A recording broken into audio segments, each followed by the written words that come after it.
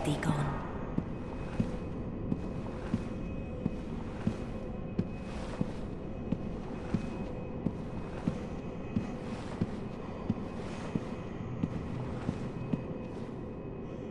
Closest of kin, bearer of our blood, I welcome thee.